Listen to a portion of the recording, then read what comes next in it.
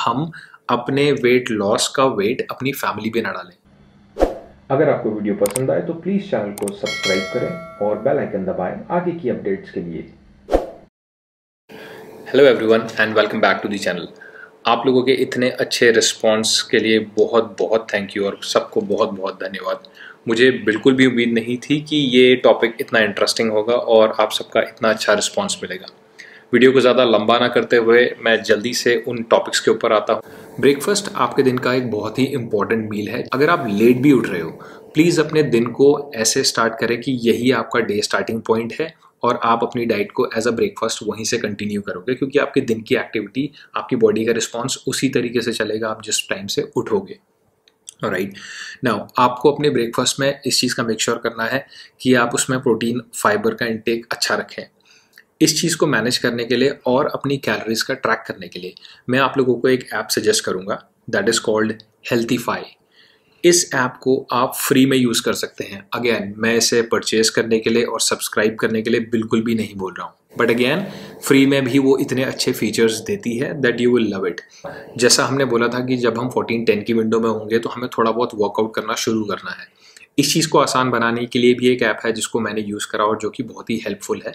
वो है thirty days fitness challenge जैसा कि गजिंदर ने लास्ट वीडियो में बोला था कि बॉडी को हर दिन ट्रेन करना है और थोड़ा थोड़ा ट्रेन करना है इंजरी से बचने के लिए। इसके अलावा हमको इस बात का भी ध्यान रखना है कि हम कंसिस्टेंट रहें। बस, एक आध बारी चीट मील हो जाएँगे। शुरू शुरू में आदत नहीं बनेगी। लेकिन इस चीज़ का ध्यान रखिए, अगर आपने खा लिया, थोड़ा सा खाया, कोई बात नहीं, उसको छोड़ो मत। किसी दिन आपने थोड़ा जल्दी खा लिया, आधा घंटा, एक घंटा तो नेक्स्ट डे आप अपनी ईटिंग विंडो को थोड़ा सा आगे पुश कर दो। चलेगा। लेकिन प्लीज़ क्विट मत करो। ये बहुत ज़्यादा इंपॉर्टेंट है। अपनी छोटी छोटी मील्स और डाइट्स जो आपको अपने वेट लॉस में हेल्प करेंगी, उन सारी डाइट्स के मैं वीडियोस भी डालूँगा क्योंकि they are very simple to make पाँच मिनट का भी काम नहीं है। आप लोगों के साथ इसलिए शेयर करूँगा क्योंकि डेफिनेटली आप, हमारी माओ को और हमारी वाइफ्स को, बहनों को, सबको पता है वो कैसे बनता है। बट मैं चाहता हूँ कि हम अपने वेट लॉस का वेट अपनी फैमिली पे ना डालें। इस चीज़ को हम खुद करें। क्योंकि जब आप खुद बनाओगे ना, चाहे सैलिड फीका भी हो टेस्टलेस भी हो, खुद की बनाई चीज़ पसंद ही आती है। ये एक बहुत बड़ा रीज़न है। सो so अगेन इस चीज़ के ऊपर भी हमें काम करना है, हम अपने मील्स खुद बनाएँ। ये बहुत ज़्यादा इंपॉर्टेंट ताकि हम कहीं बाहर भी हों तो हम उसको मैनेज कर लें। एक बहुत इंपॉर्टेंट चीज़ कि आपको अपनी बॉडी को हाइड्रेटेड रखना है। फास्टिंग के टाइम पे पानी पीते रहें ग्रीन टी पीते रहें और अगर आप ब्लैक कॉफ़ी पीते हैं तो ब्लैक कॉफ़ी पिए। इन दोनों में ही ज़ीरो कैलोरीज हैं। एक आपकी बॉडी को डिटॉक्स करने में हेल्प करता है दूसरी आपकी बॉडी में एज अ फैट कटर भी काम करता है और आपको एनर्जेटिक भी रखता है। Right so right? so, इन दोनों चीज़ों को आप अपनी डाइट में या फिर अपने फास्टिंग टाइम में इंक्लूड कर सकते हैं। आपको वेट लॉस करने के लिए पैसा खर्च करने की बिल्कुल ज़रूरत नहीं है सारी चीज़ें आपके पास ऑलरेडी हैं। जिन लोगों को वेट गेन करना है। अगेन इस चीज़ को समझें, आपको वेट गेन नहीं करना, आपको मसल गेन करना है।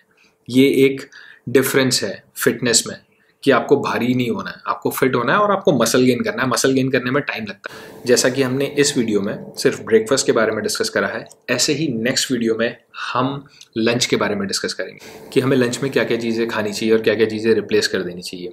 बहुत सारे सवाल अब यहाँ से आप लोगों के शुरू होंगे, क्योंकि ये मेरे भी थे बट हाँ हेल्प करा।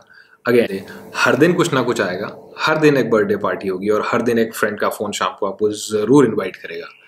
सच बताता हूँ, आप जितनी बार उसे ना बोलेंगे और अगले दिन आप ट्रेडमिल पे दोबारा चढ़ेंगे वॉक करने के लिए या फिर आप रन करने के लिए बाहर निकलेंगे, आप साइकिलिंग करने के लिए बाहर निकलेंगे, वो आप एक अचीवमेंट ऐड करते जाएँगे अपनी लाइफ में।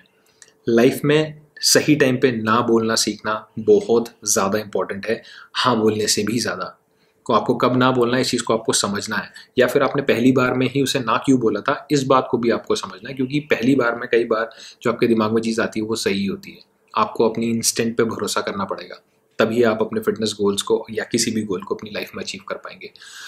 आज की वीडियो में इतना ही। नेक्स्ट वीडियो में हम लंच की डाइट और वेट सॉरी मसल गेन की डाइट के बारे में बात करेंगे। Okay till then take care जय हिंद